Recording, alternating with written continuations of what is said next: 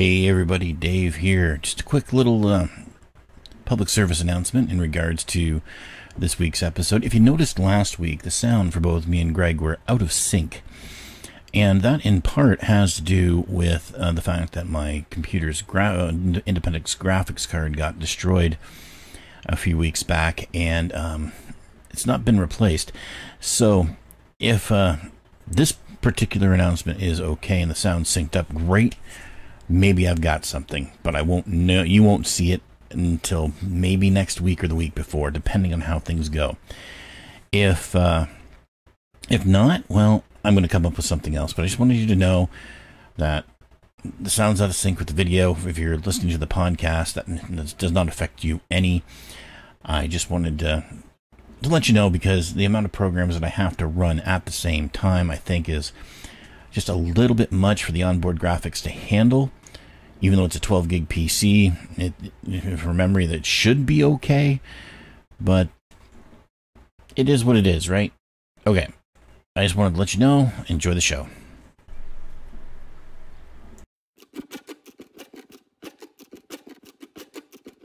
One. Hey everybody, Dave here. How are y'all doing tonight? Last week, two weeks ago, maybe even. I don't know. Two weeks from now. It's just insane. Podcasting and YouTubing is all time travel. It's all mind bending. Yes. It is the 7th of July at this point. It's still the 23rd of June for me and Greg. Shh. Don't tell anybody. How you doing tonight, Greg? Uh, I was going to say I've been in here for a week and uh, desperately need a shower. And uh, two weeks. It's been two weeks. You're supposed to be yeah. leaving. You were supposed to have left for a trip already. I know. Uh, my wife is just uh, wondering. Uh, in fact, my whole family, friends, are all wondering where I am. still haven't thought to look into the garage, which you know you would think would be the first place I would look. Yeah, like you would have thought they would have looked like last week when you didn't come in by you know 10 o'clock yeah i'm very hungry though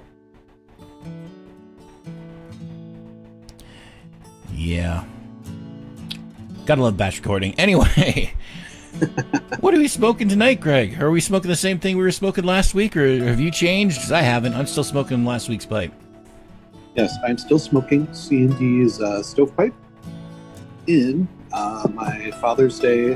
Uh, that's not the type of pipe it is. Just when I got it, uh, the Rossi uh, Rossi Billiard. Yes, and I'm still smoking my Savinelli Deluxe Milano with some Orlik Dark Strong Kentucky in it. And I'm only about yeah. half done. So this is probably going to make the whole episode. I've got another pipe loaded here. I guess maybe I might have my first pipe for Friday night loaded already. Yes, and uh, I have a couple of pipes uh, waiting and moving uh, when this one is inevitably done. Yes, I'll just show everybody since I've got it here. For my second pipe, if I get to it, I'll be smoking this nice clay pipe that my kids got me for my birthday or Christmas. One of the two, I can't remember which. But just recently, I haven't had it a year yet. Nice little clay cutty with a vulcanite stem on it. And in it, I'm smoking something tobacco. I say something in tobacco because this, this is the jar right here, and this is the label for what used to be in the jar. And there's nothing on the top, there's no label inside. I forgot to label the damn jar. I don't know what's in here. But I kept it, so it must be good. And uh, if I get to it, uh, which I probably will, uh, I have this Nordic freehand that I have here. Nice. With, uh, uh, C&D's uh, Morley's Best. That's another unicorn pipe of mine.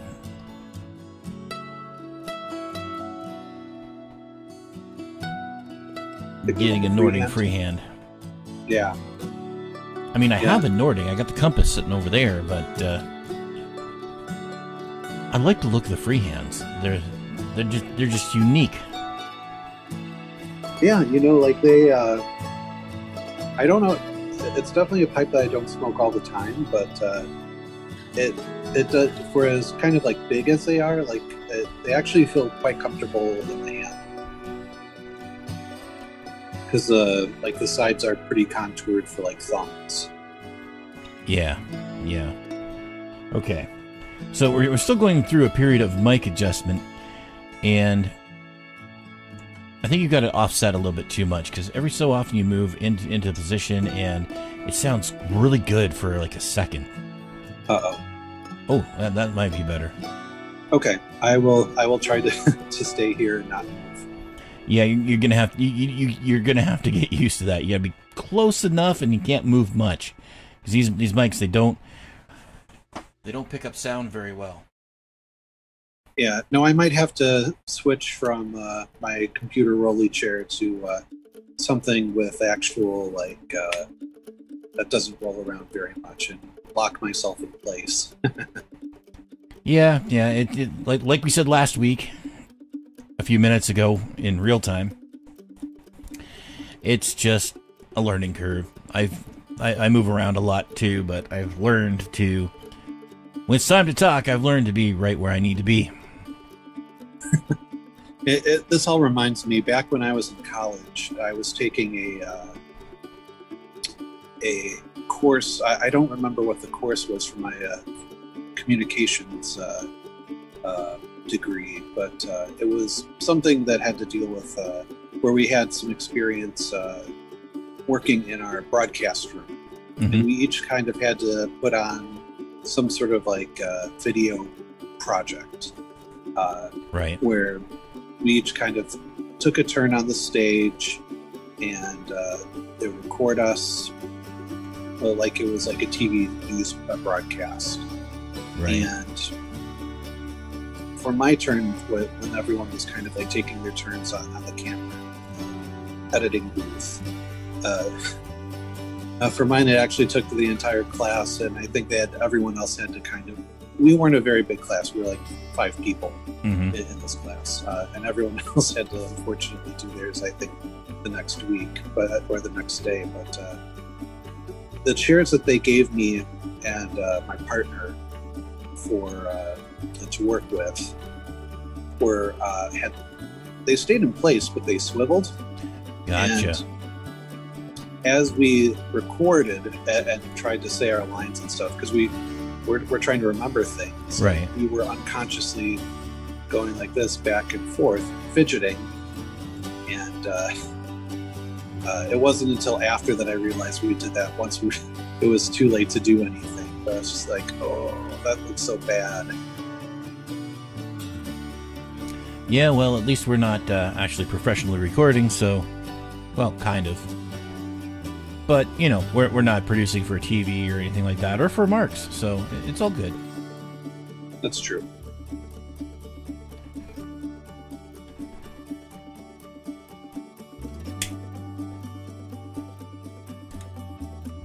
Yeah, but uh, how about uh, you know for this episode we're going to do uh, a pipe centric one. That, that should be uh, fun. Yes, we're we we just decided like five seconds ago that uh, we're going to talk about what we look for in a pipe.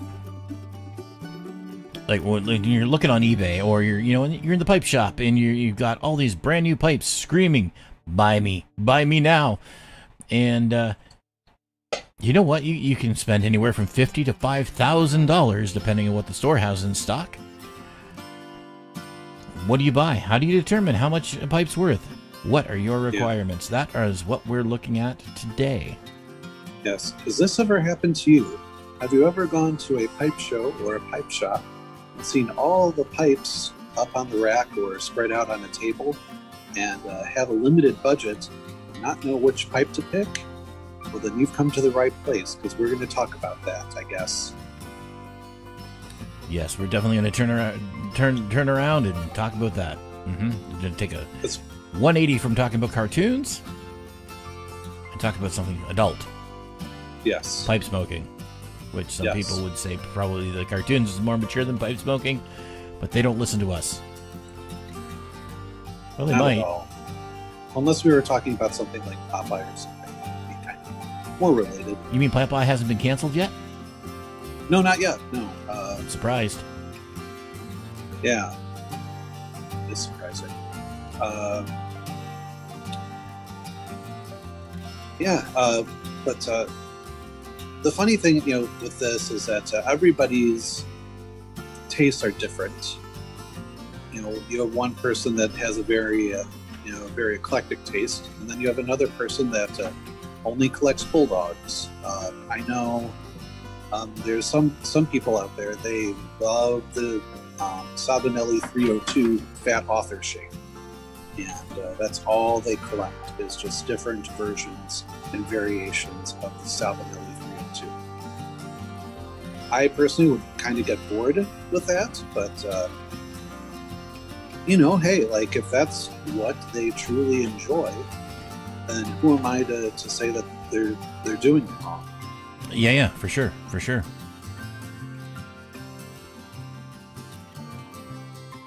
The only ones I would say are kind of doing it wrong would be people that only buy something like uh, uh, the Briar cigar, because uh, like why?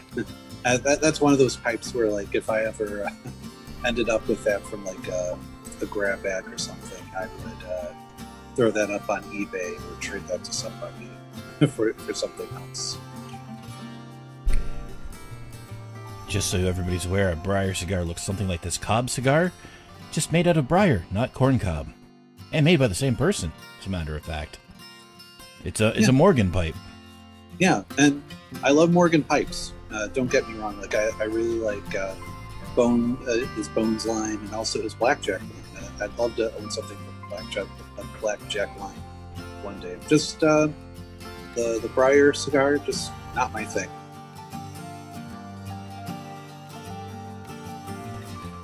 And um, I'd like to smoke my uh, my cob cigar on occasion. It's just kind of fun, you know.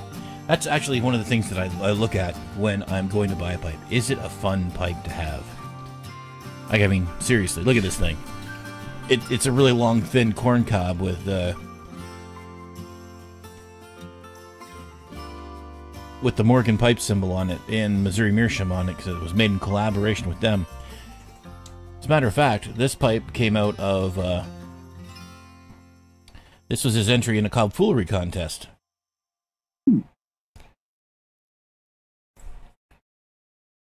No, I mean they're definitely unique. I mean that's why like I love, uh, even though I don't smoke it very often, I love uh, enjoying my uh, uh, gourd calabash. It's just uh, like it almost feels like a prop, but it's a real pipe, and makes you want to uh, don a deer stalker and solve some mysteries.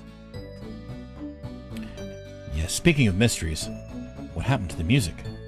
I didn't turn it Uh-oh. on. That's what happened to the music.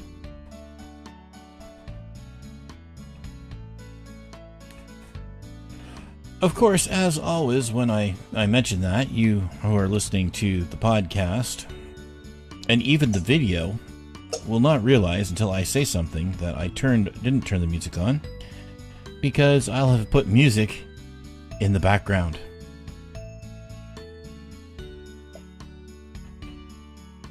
Makes me think sometimes I should just not say anything and just keep going and just turn the music on. But I never do that. it, well, at least it gives you like a point of uh, reference. It does. That at about 12 minutes and a half in, I turned the music on, and now I've got to cover about 11 and a half minutes uh, of music. Thank goodness I have a backup of a bunch of non copyrighted music that I can just dip into and uh, fill it up. Thank you, YouTube. Oh, welcome.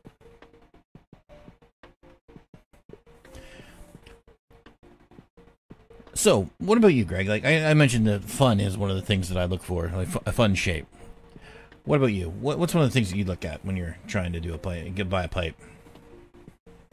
yeah for me like i i tend to wait tend to stay away from uh more extreme kind of shapes uh you know like when i'm scrolling through ebay or if i'm at a pipe show or or at an antique shop and they have a good selection of pipes Mhm. i'll uh, take a look uh, obviously if it's ebay or uh, an antique store the first thing i'm looking at is uh, is the pipe in good condition uh, couple of uh, antique store visits ago, I went to one that, uh, in general, is a good uh, antique store, but uh, I've ne- I had never seen pipes there. Uh, Okay. This was the first time I, I found them there, but like all of them were in terrible condition. Like uh, bite marks that went through the, the stem, um, holes that were just like it's like you. Whenever they were done with the pipe, they just went to a block of cement and just started like uh, hammering it Oh, okay. Yeah, yeah. yeah, just uh, felt really bad for them because I, I just I don't feel like there's any chance to be able to restore any of those. Okay. Um, I have a suggestion now for for that mic. Something that I just discovered about this particular brand. Angle it the opposite way that you have, then you have it. Don't have it pulled back away from you. Point the top towards you a little bit. Like this, A little too much. this. A little more. Back towards me. I say back towards me because that's what it looks like. back towards your phone. Right.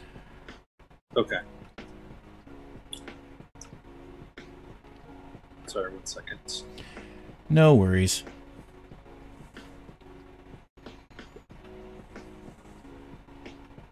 Like this. Perfect. Okay. That's good. If you can make it stay there. Yeah. No. Um.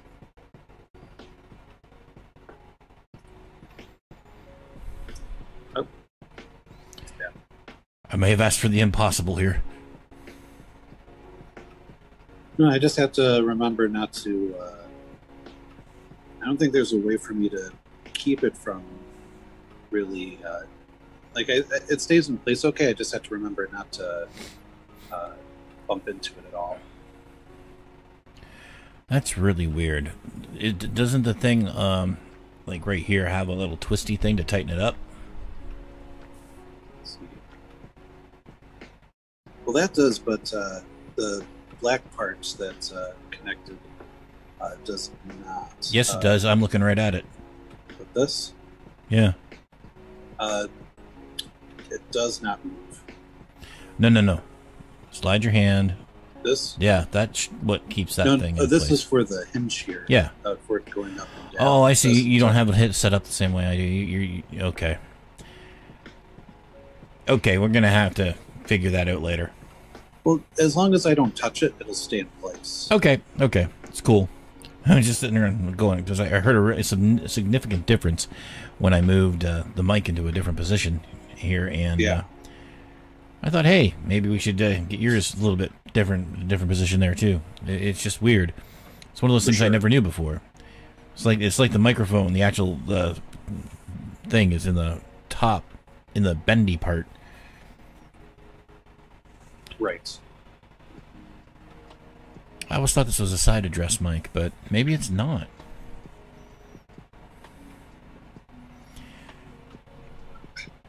Oh well, we'll we'll we'll get it figured out. Yeah, no problem. Anyway, back to pipes. Yes.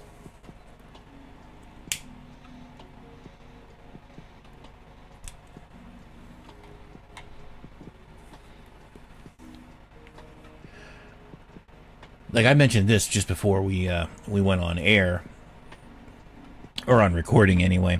That uh, one of the things that I look at specifically when I'm looking at you know trying to buy a pipe from eBay is the shipping. How much is that going to add to the cost of the pipe? Because for me, if I'm looking at buying a pipe that isn't brand new, and I want to say spend no more than fifty dollars on the pipe, I have to remove the shipping cost from that fifty dollars before I make any decisions as to what I'm going to do. And uh, so, you know, you want to spend, say, fifty bucks on a pipe that looks like this. You remove twenty-five dollars right off the top. The way eBay's got their shipping right now, Yeah. maybe more.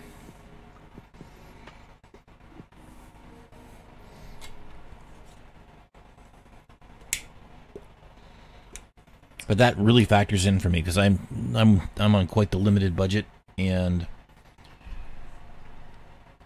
I want to get some nice pipes, and I need to do it estate wise. But you know,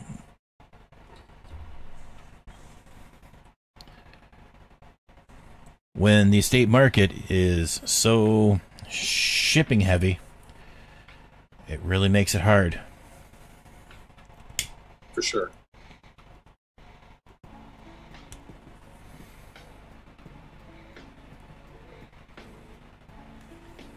And it's also sad that I can bid on a pipe in France and, you know, maybe pay $10 Canadian for shipping and get a pipe sent to me from France on eBay when right next door I have to spend 20 to $30 on shipping and will probably lose out on the pipe I want because I can only spend 10 bucks on the pipe. I have to spend the rest on the shipping. Right. Now that does make it uh, very complicated.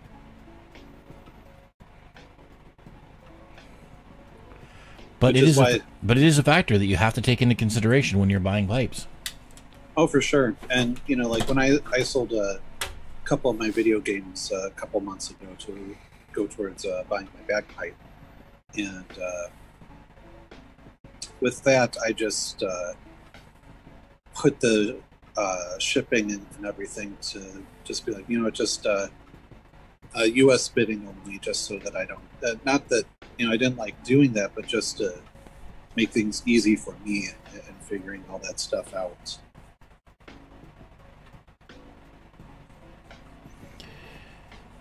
Yeah, that's that's the thing, especially even when you're selling too. Because I've sent I've sent a few things, a couple of them to you, Mm-hmm. And it's it's interesting.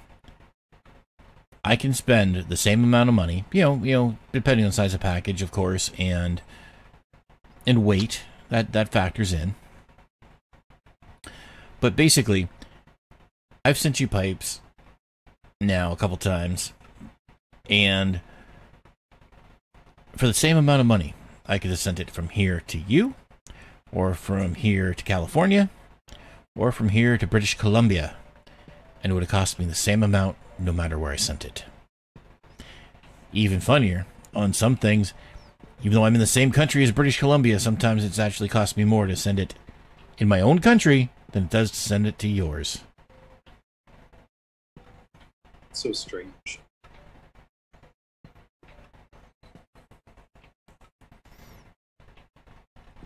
Very strange.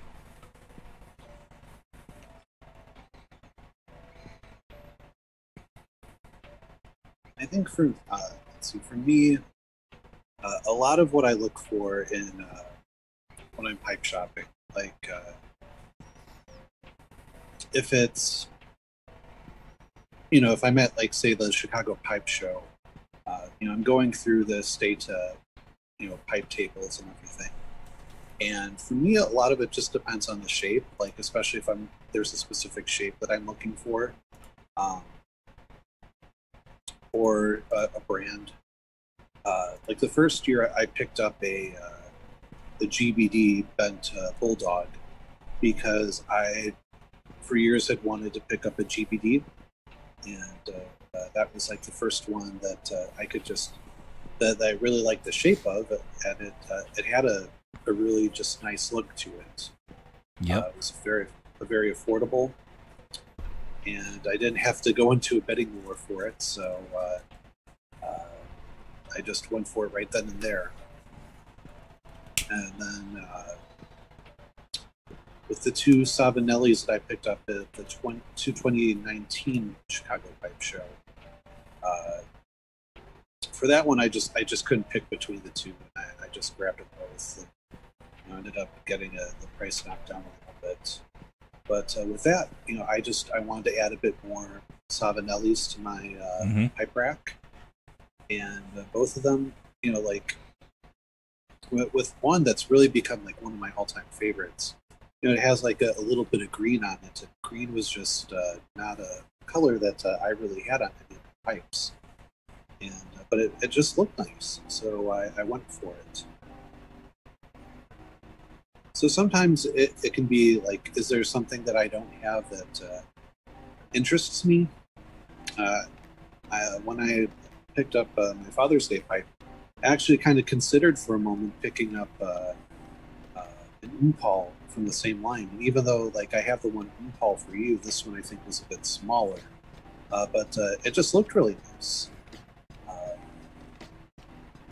So a lot of it comes from, you know, is it a brand that I'd like to kind of explore more from?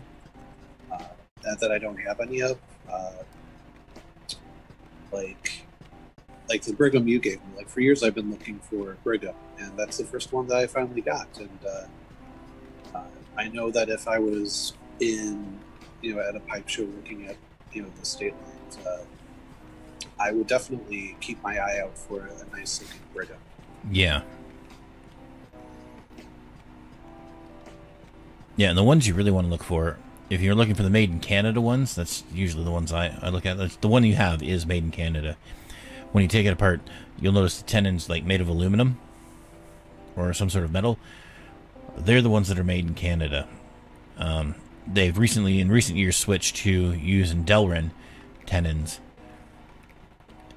and you really can't tell the difference between the, that tenon and uh, the vulcanite or whatever they're using for, or the acrylic that they're using for their their mouthpieces at this point. But that's what they switched to, and uh,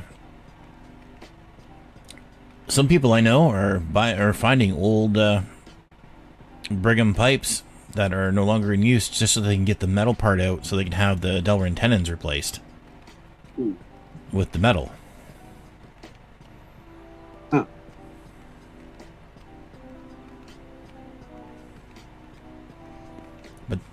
That's a surefire way to tell if it's been made in Canada. Is if it's got that aluminum tenon in it, unless somebody's had it replaced, it is a Canadian pipe made pipe. Also, they are stamped made in Canada versus made in Italy. Is that where they're being made now? Yeah, I've got one um somewhere. No, it's right behind me. It's right here.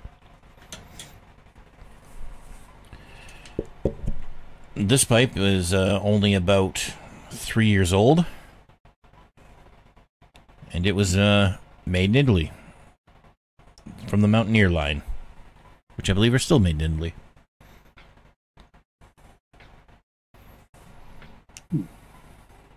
Interesting. I didn't know that. A, a lot of what I'll avoid, um, I avoid small pipes uh, or short pipes. Uh, I just I don't like nose warmers really. Uh, I found that I also don't like when pipes are a little bit too long.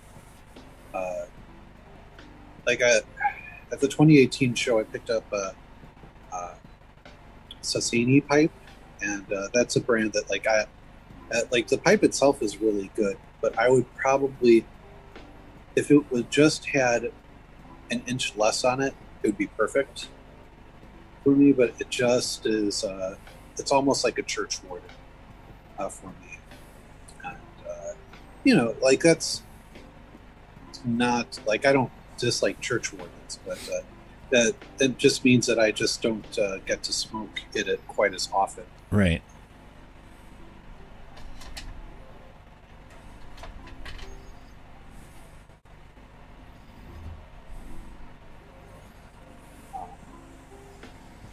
So like this one here, this uh, this cob, like it's about seven inches. So this would be about your your your main length, like your your biggest you'd want to go.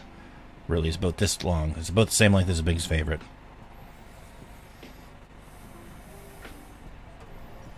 Yeah, definitely none of those like uh, German pipes where they're like they go from like the floor all the way up to uh, uh, where you're sitting that you see on like some beer steins and, and whatnot. Yeah, that that's what you call go big or go home, and I'll just go home.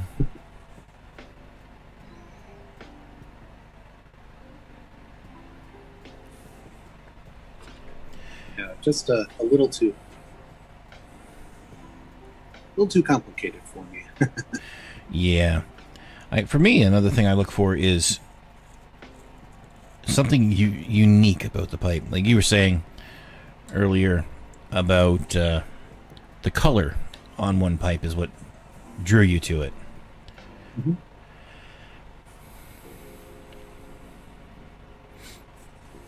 I have this little pipe here. Nice little brandy.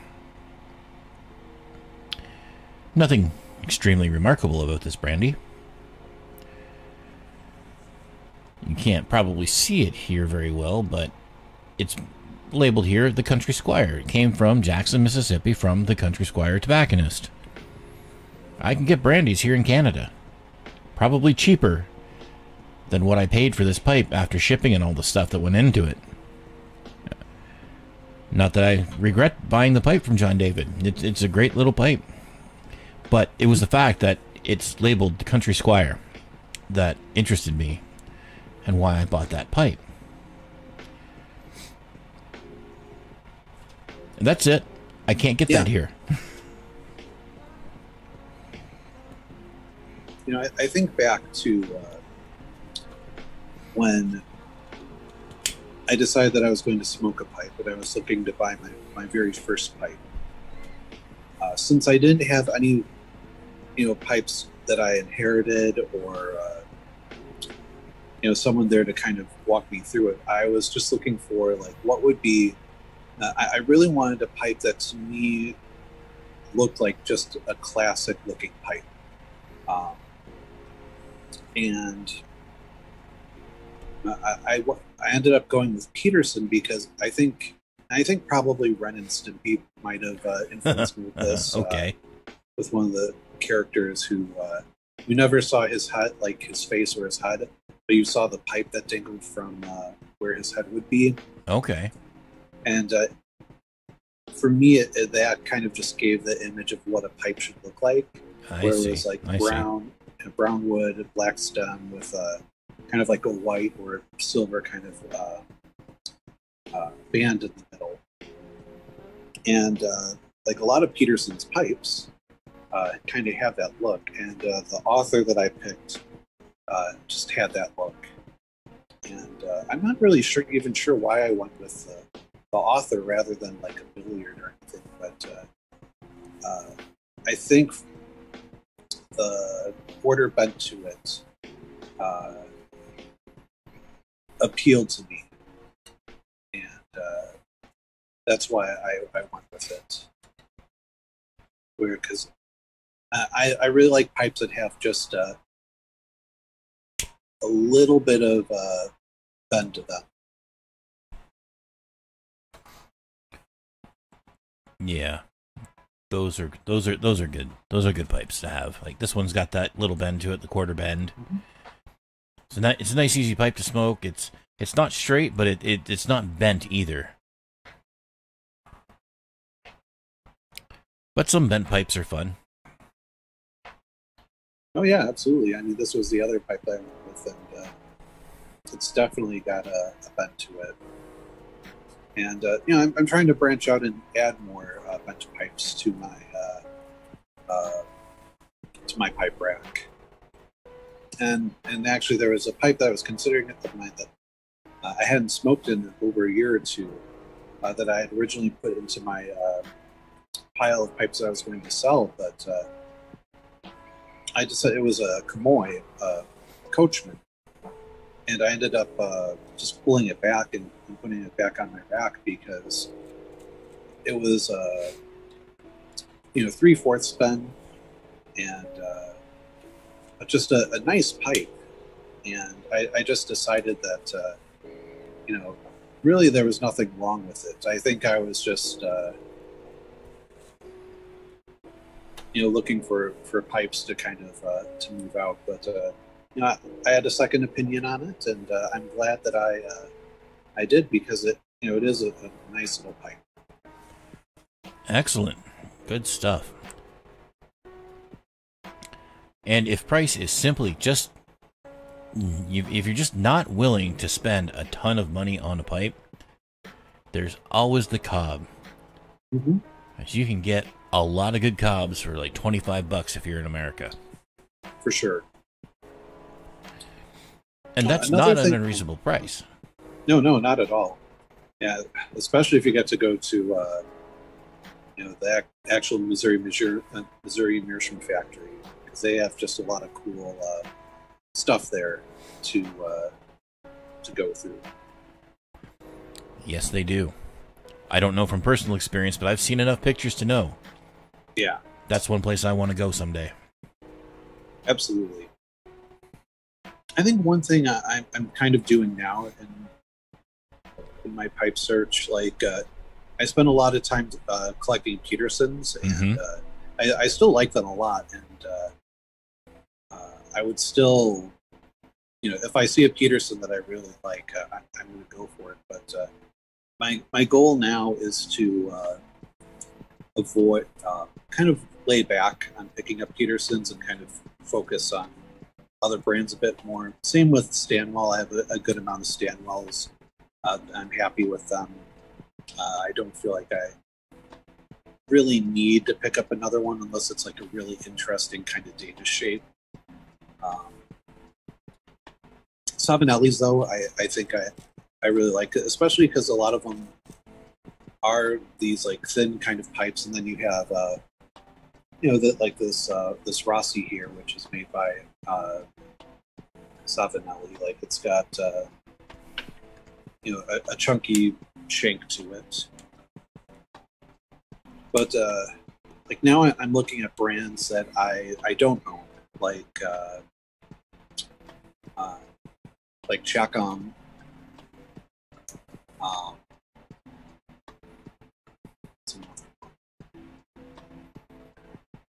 And that, that that's the main one. Uh, Parker, Hardcastle, Dunhill, of course, but uh, you know that's uh, That's a pipe dream. But um, gee. I don't know if um, Japanese pipes necessarily uh, like I, I wouldn't be opposed to looking at them, but they're not high on my list. They're also pretty pretty expensive from what I've seen. Like the truly Japanese ones. Oh, for sure. Like a like not the artisan ones, like the uh, the the one main Japanese brand. I, I'm, I'm blanking on the name. Tsuge. Yeah, I, I would look at that. Uh, and they're not, and they're pretty. No, Tsuge's got some res- some some affordable, good looking pipes. Right.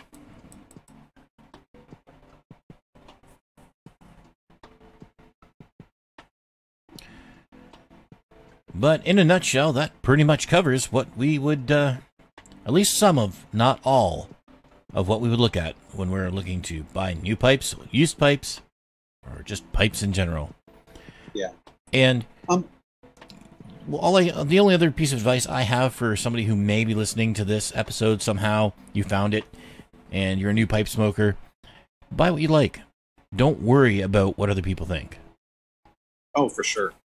Um, my I would I would advise, um, definitely don't be afraid to uh, try different pipes, um, like uh, different pipe styles. Like, because really, it's through trial and error that you discover like what you like and what you don't like. Because Absolutely. even though, yeah, because even though like that, uh, my first pipe was a Peterson 408 author. Um, I haven't picked up another author since, and uh, that's really uh, the only author I kind of plan on owning. And it's not that I don't, you know, dislike the shape or anything, but uh, it's just not. Uh, I, I'm just happy with that one. I don't think I would want another. Um, and then, you know, like a, a different kind of pipe that I'm interested in is uh, apple, like out the apple shape. And originally, like that was one that I just wasn't impressed with. But uh, now, whenever I do my uh, eBay searches, I uh, that's usually one of the first ones that I look up, uh, besides Lovats and Canadians. Oh, speaking of pipes, I was on eBay just before we started recording tonight, and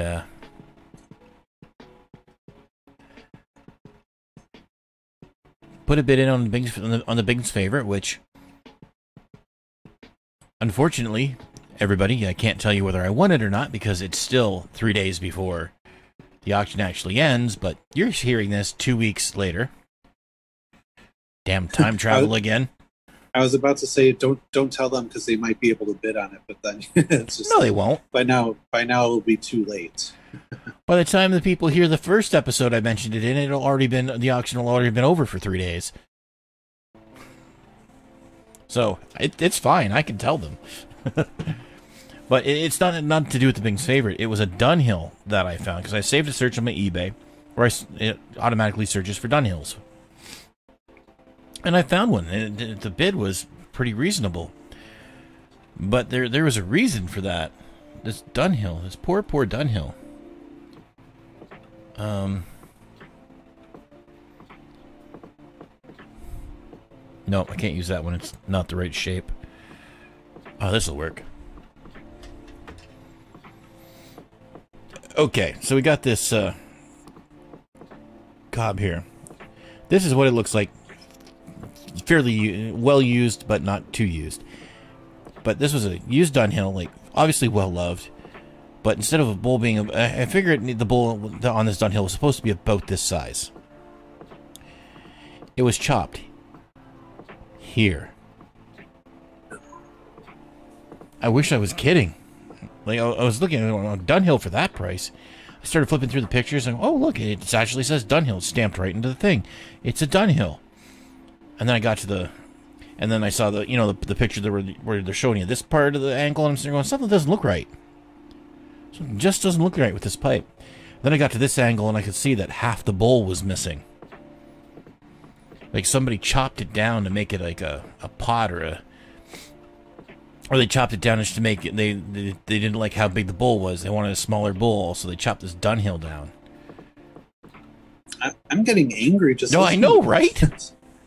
Yeah, like it makes me wish there was like the pipe police because they And would it is- definitely. Yeah, and it's not like I can go on and say, "Hey, what did you do to this pipe?" Because most likely the seller didn't do anything to this pipe. It's one he came on, and it's just trying to move. you know, you experiment with cobs because cobs are versatile and, uh, you know, like they're, if you met, you know, kind of mess it up or whatever, it's not the end of the world. But to do that to your Dunhill, you're you're going to pipe jail. Yeah, I know. You know, they, they, they say that uh, they say in uh, Dante's Inferno that the seventh circle of hell is reserved for traitors and mutineers. But what the, the there is one circle of hell they didn't mention. That was the eighth circle of hell, and that's for the Dunhill mutilators. Uh, that would be the tenth circle because there was uh, nine circles. Oh, was there nine? I'm, yeah, I'm not that familiar with it.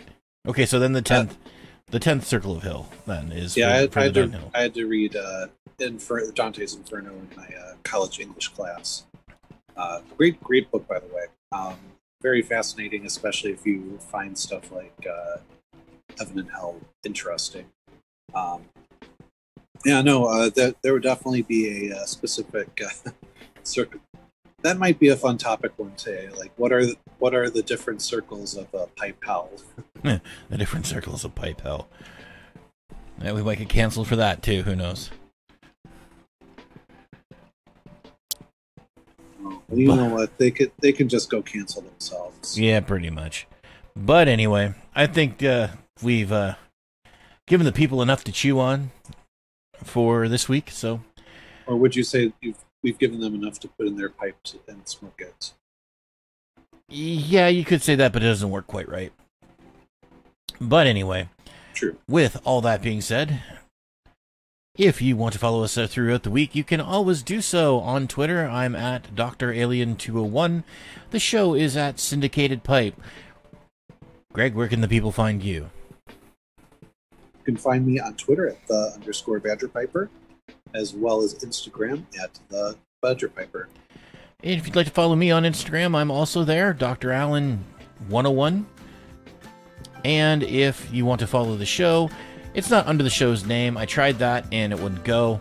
So it's Dr. Alien 201. Also, we have a Facebook page now where you can find us. It's Dr. Alien 201 Productions, where you can find this show and anything else that I happen to put out because I always tag Dr. Alien Productions at the end of the video. So, I guess that's the brand. And also, you can email us at reverseflashtime at gmail.com, even though nobody ever does.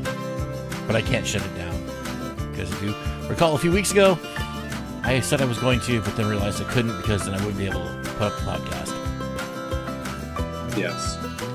So it's uh, it's going to stick around that way.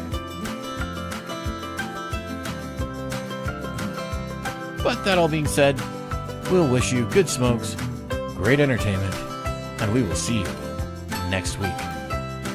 Chat with you later.